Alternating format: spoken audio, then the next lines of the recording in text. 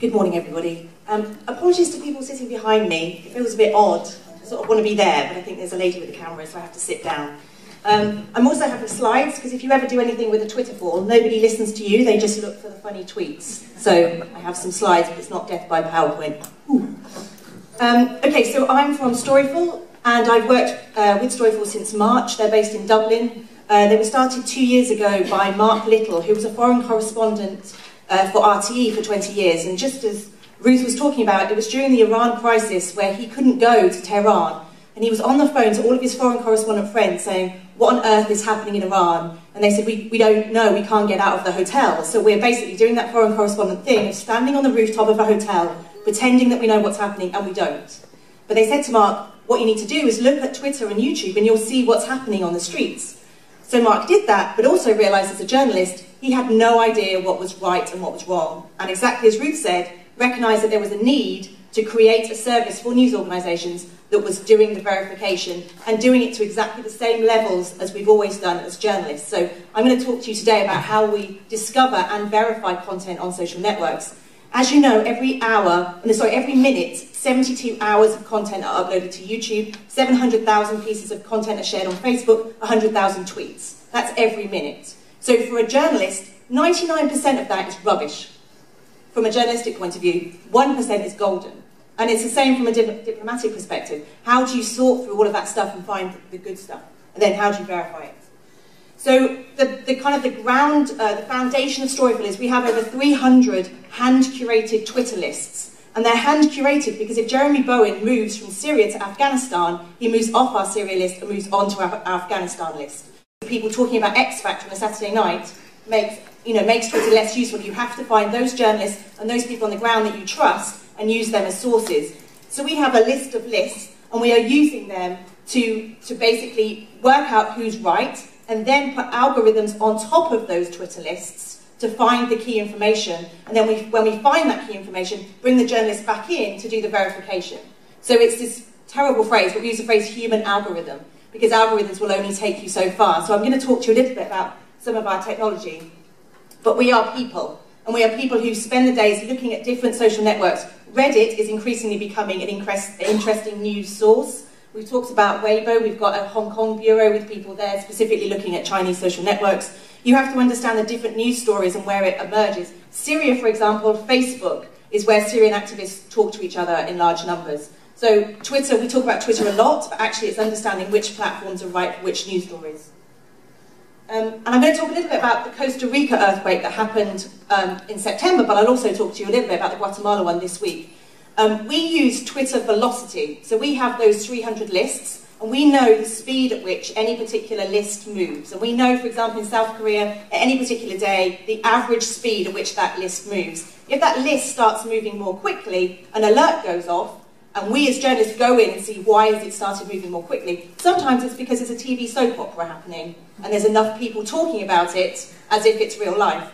But with the Costa Rica earthquake, um, you can see here that the epicenter was there. It took 90 seconds to, to go, the shockwaves to move to Nicaragua. Within those 90 seconds, Temblor, as you will see here, had become the trending topic and the alert went off to say, which is obviously Spanish for earthquake. And I love the fact that within 90 seconds, the earth is moving, but people take their phone out of their pockets and tweet Temblor, okay, which is great for, for, to for finding out information. It's slightly odd from a human perspective.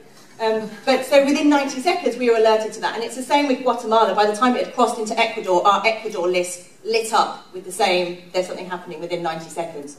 So what you're seeing is, particularly around these sorts of stories, it's an early, kind of an earlier warn, warning system, which allows you to then go in and gives you more of a head start to do the work that you need to do. So um, this is the alert bot, which we were talking about a plane crash in France. It's a mixture of velocity and keywords to work out when a story is breaking. And then on the basis of that, this isn't something that we give to newsrooms, this is an internal tool to help us as journalists have an early warning. Um, but I just want to talk a little bit about this verification piece. Um, it's, as a startup, to be totally honest, the Arab Spring has allowed us to do work because social media was so critical in that story and journalists couldn't get into Syria. But because Syria is being, social media is being used by activists to tell a story, it was even more important to hone our verification skills. So whenever we find a video from Syria, it becomes a little bit like CSI Miami, in that we will cross-reference with Google satellite imagery, we will be talking to activists on the ground, we'll do cross-references with weather, you can, you can use Wolfram Alpha to say what was the weather like on the 10th of February in Damascus, we will talk to people on the ground and say, were you there, what camera were you using? We'll use te technology to cross-reference EXIF data. So we'll do all of this to be able to say, yes, this is something that we can stand by. And sometimes, for example, there was a particularly gruesome video of some rivers being dumped, uh, some bodies being dumped over a river. We could look at the shadows on the bridge so we knew which direction the river was moving. We could tell from the tiles on the ground using satellite imagery which of those bridges were. But it took us 20 minutes to cross-reference 72 bridges using satellite imagery to work out which bridge it was. Now we did all of that and we became pretty certain that those bodies had been dumped over that bridge. But the activists were saying it had happened this week. But we knew from, from some of our research that the river wasn't that high at that particular time of year. So we could verify 90% of that video, but the last 10% we had concerns over the timing of it. And it's the same with activist videos where we can say, yes, it's the right day, yes, it's those activists, yes, that's, that shelling is happening right now, but the smoke in the background, we can't tell you whether that's from a shell that's just dropped on the rooftop or whether it's because it's a tyre that the activists have lit themselves to make it look worse. So people say to us, can you just give us a tick to say, yes, you've verified this? People are looking for 100% verification. But actually, we have to learn the tools to say what do we know and what we don't know.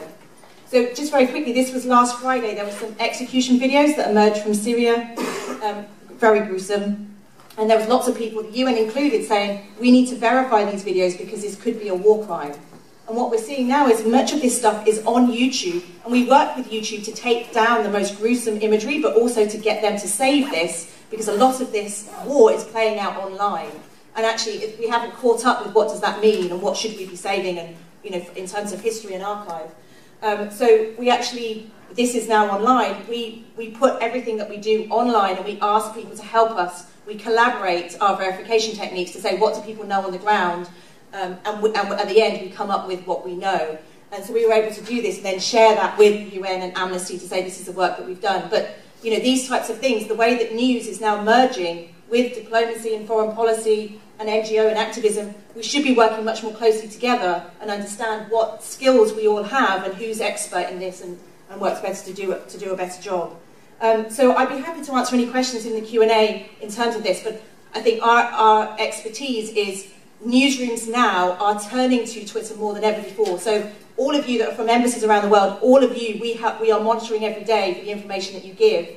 Uh, we work with the New York Times, um, Reuters, Al Jazeera, BBC, all the major news organisations, and they will say to us, what do you know about this? And for example, with the FCO, there was a case where we knew from your Twitter account that William Hague was about to give a statement. We were able to say to the New York Times, it's okay, you know, the Foreign Office is about to make a statement, William Hague is there at that refugee camp.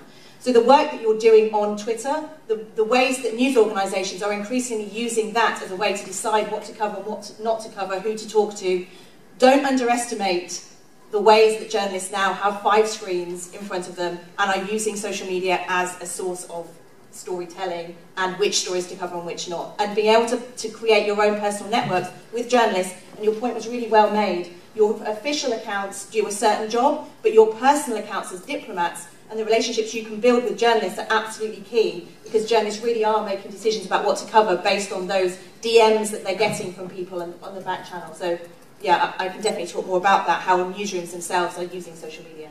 Thank you.